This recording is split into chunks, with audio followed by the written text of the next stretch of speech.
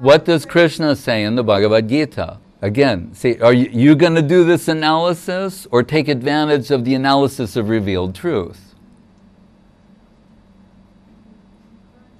So we try to come under the influence of the revealed truth. We say, oh, in Bhagavad Gita, Krishna says, above the objects or the sense of the senses, are the senses.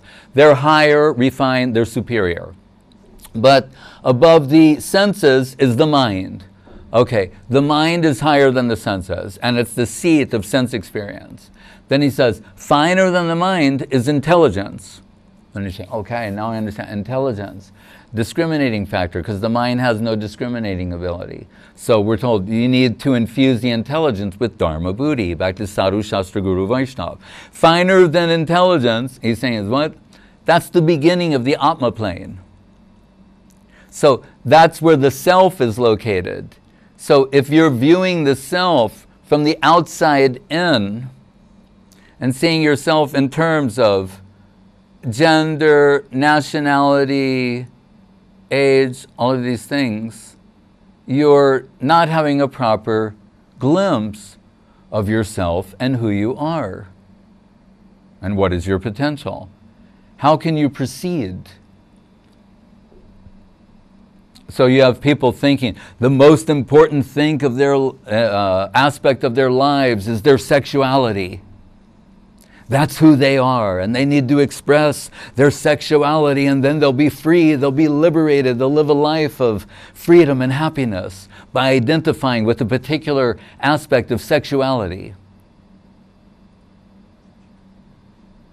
I mean, I'm not making this up. Right?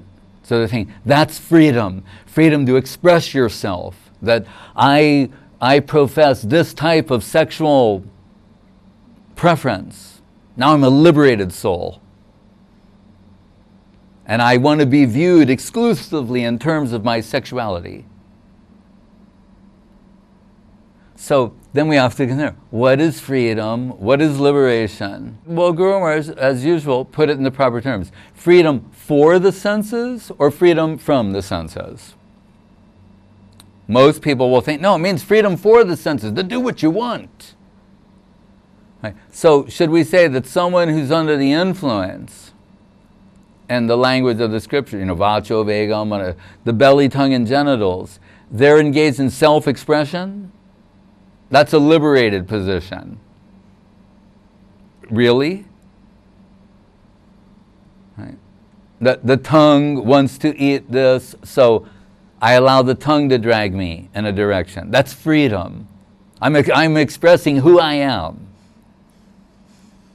I remember when I was a teenager and I'd become a vegetarian, and a friend of mine, we were like having this discussion back and forth, and he's like, Well, why are you doing this? And at the time, it was for me an intuitive thing. It wasn't based upon a lot of uh, an analytical thought, it was just an intuitive compulsion.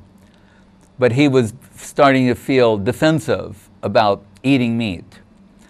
So he once said to me, he said, You know, when I eat a steak, it's, a, it's an expression of my love for the cow. And we're in a band, and the lead guitarist turned to him and said, That's total bullshit.